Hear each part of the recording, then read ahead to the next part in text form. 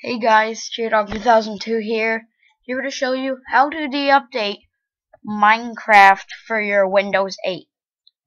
Now, it is not as simple as for Windows 7, but as you can see, it's 1.5, and of course, you can't connect to most servers. Now, you can see the server IP, so if you want to join. However, I will show you how to de-update. Need to search app data, percentage app data percentage, go to roaming, point Minecraft, bin. Now here you are going to see Minecraft, Minecraft 1.4.7, and Minecraft Real, this is the actual Minecraft.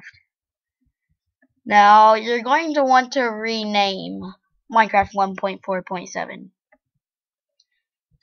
Rename it just plain Minecraft. Just let me rename this. Because I'm not sure how that got there. So, oops. I'm trying to. Won't let me turn that way. Don't yell at me. Now that it is renamed as the real Minecraft, as you can see, this is actually Minecraft 1.4.7 here. Now we can just launch Minecraft.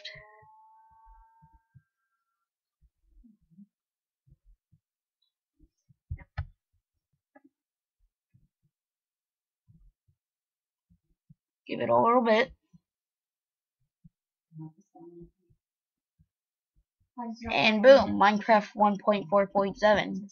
And I can now join all my favorite servers, unless they are updated. So, thank you guys for watching, and see ya.